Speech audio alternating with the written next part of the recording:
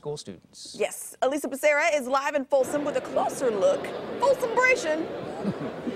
Yeah, that's right. Look, I even found this sound thing. It's got a buzzer like a, you know, a game show for Tina's Tunes. It has its own thing. But I, what I really thought was cool is these two young ladies here, Kayla and Gabrielle.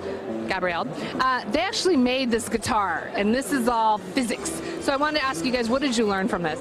So we learned that you know when you see something, it's not it's like more than what it actually is. Like there's so much that goes into making an electric guitar. Like you know, so it's like you like building the entire like w- the body itself and in, inputting like all like the electronics, like the circuitry, like all like the capacitors, transducers. That's how it makes like the sound that you hear.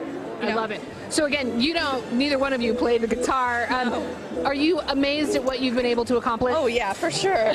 like I never would have thought I would be able to make this having not been a musician, but it's just kind of like made me so interested in the fact that we could are able to build something like this not have knowing how to play it at all. So it's just kind of interesting and cool that we that's not expected. Absolutely. And again, just to show you guys, it plays beautifully. So again, this is all about uh, STEM and how wonderful. And I tell you, all these kids so talented. I've had so much fun here. Back to you guys. Yeah, that is outstanding. Great job.